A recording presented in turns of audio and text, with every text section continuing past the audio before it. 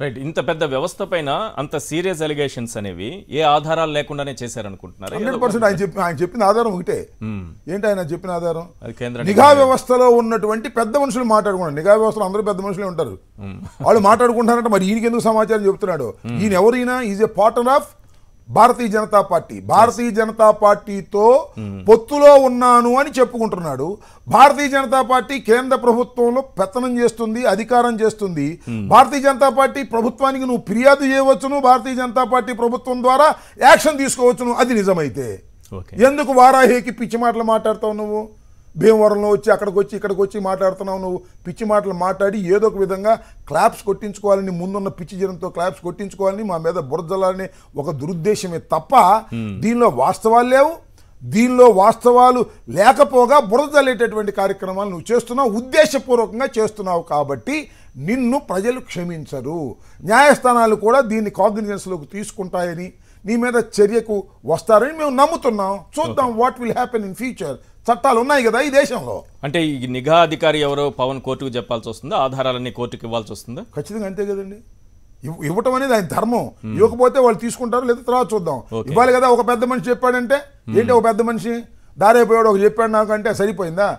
ఒక వ్యవస్థ మీద నువ్వు ఇప్పుడు చాలా మంది మీకు ఈశ్వర్ గారు ఒక ఆరోపణ చేస్తారు. నా బుడ్డు తిరిగి ఆరోపణ ఎవరు చెప్పారని నీకు చెట్టుకుంది అనుకుంటున్నారు అంటాడు చెట్టుకుంటా అనుకునేది ఏంటి నాకు అర్థం కాదు. ఒక బాధ్యత ఉండాలి కదా.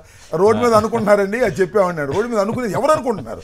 ఈశ్వర్ గారు అనుకుంటున్నారా? అంబటరామ గారు అనుకుంటున్నారా? పవన్ కళ్యాణ్ గారు అనుకుంటున్నారా? చంద్రబాబు నాయుడు గారు అనుకుంటున్నారు? ఏదో గాలి మాటలు మాట్లాడే గాలి చేష్టలు చేస్తే ఎలా ఊరుకుంటారండి? ధర్మం కాదు కదా ఇది. ఒక వ్యవస్థ మీద నువ్వు టార్గెట్ చేసి మాట్లాడుతున్నావు. పదే పదే పదే మాట్లాడుతున్నాడు. పదే పదే పదే మాట్లాడేటటువంటి పవన్ కళ్యాణ్కి తప్పనిసరిగా యాక్షన్ తీసుకోవాల్సినటువంటి అవసరం ఉన్నది.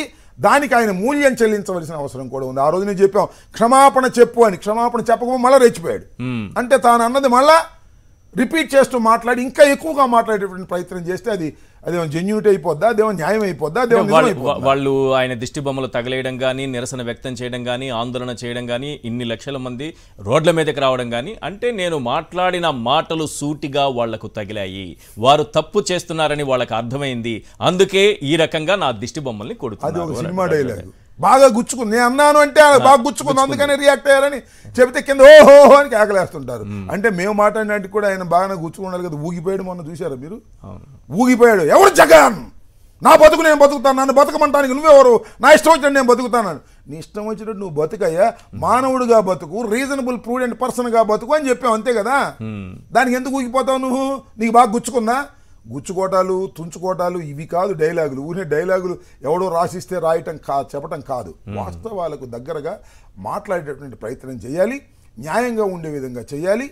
ఈ రాష్ట్రంలో ఉన్నటువంటి రెండు లక్షల అరవై వేల మంది ఈ వాలంటీర్స్ని కించపరిచేటటువంటి విధంగా నువ్వు మాట్లాడేవు అంటే అది చాలా పెద్ద దుర్మార్గం అనేటువంటి అంశం ప్రజలు చర్చించుకుంటున్నారు. వాళ్ళు నేను చెప్పేటువంటి అంశం కాదు. ఎవరు ఏ- ఏమన్నారంటే ఈ సీఎం ఎవరు? జగన్ ఎవడు? ఈ మంత్రు మంత్రులు ఎవరు నీ మంత్రులు ఎవరు ఈ అంటే ఆయన ముందుగానే చెప్పారు ఏకవచనంతో ఈ రోజు నుంచి నేను సంబోధిస్తున్నాను. దానికి తగినట్టుగా మీరు ఊగిపోయారని అన్నారు కాబట్టి ఆ సీన్ గుర్తొచ్చానంటున్నాను. నూట యాభై ఒక్క సీట్లతో గెలిచినటువంటి యాభై శాతం ఓట్ షేర్తో గెలిచినటువంటి ప్రజలందరూ ఓట్లేసి గెలిపించుకున్నటువంటి ముఖ్యమంత్రి మీద ఆయన వాడుతున్నటువంటి పరుష పదజాలం పైగా మంత్రుల గురించి కూడా. అందులో మీరు ఉన్నారు. సరే అతను పరుష పదజాలం వాడుతున్నాడంటే నేను చాలా సందర్భాల్లో చెప్పా. బాబు మమ్మల్ని గౌరవంగా పిలువని మేము అడగాల్సిన అవసరం లేదు. అది అతని ఇష్టం. ఓకే. ఇంకొక మాట కూడా చెప్తున్నా. అది అతని సంస్కారానికి నిదర్శనం. ఇష్టం వచ్చినట్టు మాట్లాడతాడు. మళ్ళా నాలుగు రోజులు పోయిన తర్వాత మళ్ళా గౌరవంగా మాట్లాడతాడు. చాలా రకరకాలుగా నేను మీకు చెప్పాను కదా ఆయన ఒక రకమైనటువంటి క్యారెక్టర్ చాలా మంది అనలైజ్ చేస్తున్నారు ఇవాళ. టీవీల్లో కూడా యూట్యూబ్లో కూడా. అతను ఒక స్థిరత్వం లేనటువంటి వ్యక్తి అనేటువంటి మాట మాట్లాడుతున్నారు. కాబట్టి ఆ personality is a different personality.